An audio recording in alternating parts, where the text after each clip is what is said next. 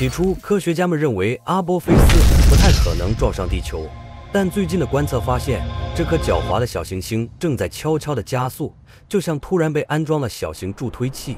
这到底是怎么回事呢？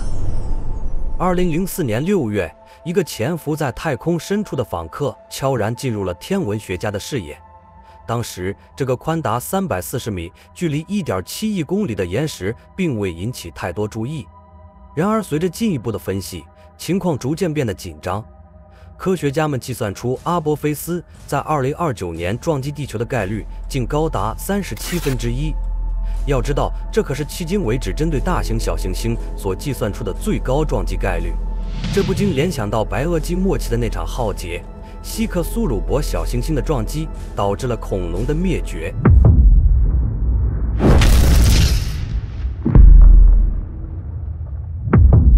因此，它被赋予了阿波菲斯这个象征着混乱、黑暗与毁灭的名字。仿佛它的到来注定将带来一场前所未有的危机与不安。研究人员估计，阿波菲斯撞击地球时释放出的能量相当于沙皇炸弹威力的十八倍。沙皇炸弹是人类历史上威力最大的核武器，能释放约五千万吨 TNT 的当量。换句话说，阿波菲斯的撞击相当于九亿吨 TNT。这足以摧毁城市、改变地貌，甚至引发全球气候变化。令人欣慰的是，全球顶尖的科学家正在为这场潜在的灾难做准备。NASA 的探测任务已经启程，准备近距离研究这颗小行星。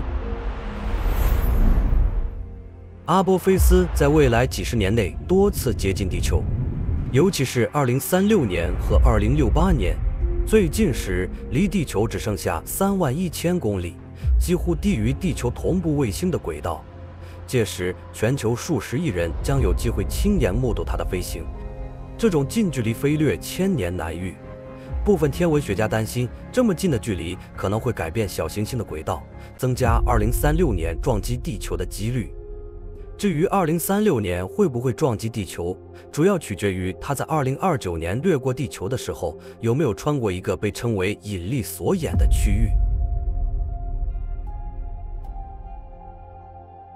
2021年3月，阿波菲斯远距离掠过地球，天文学家利用强大的雷达观测，对它绕太阳的轨道进行了精确修正。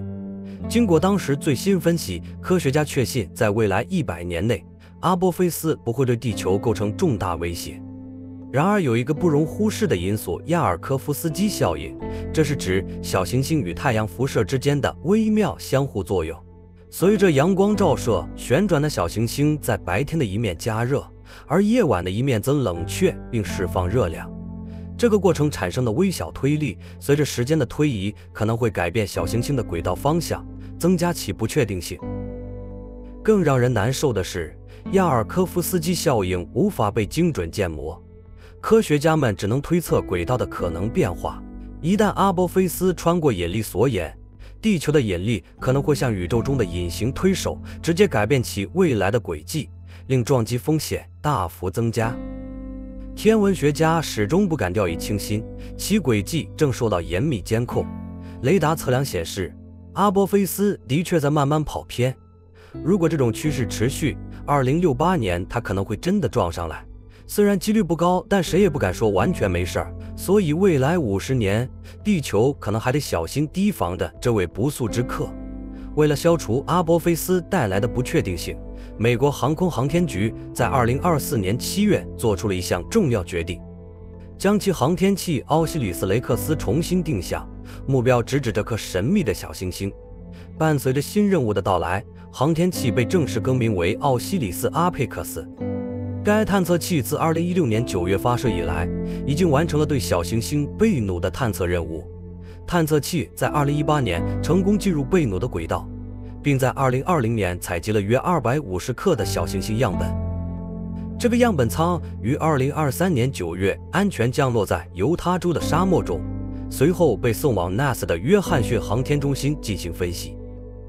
随着2029年4月13日阿波菲斯近距离飞掠地球奥西里斯·阿佩克斯将利用地球的引力加速，顺势进入阿波菲斯的轨道，开始为期十八个月的详细探测任务。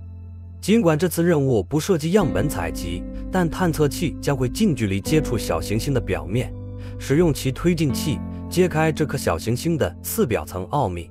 进一步揭示其物理和化学结构，帮助我们更深入地了解这个神秘的太空访客。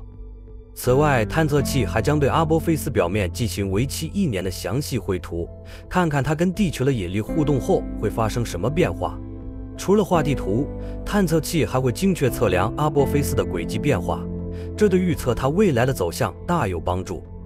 目前，科学家对小行星的预测只到二一一六年。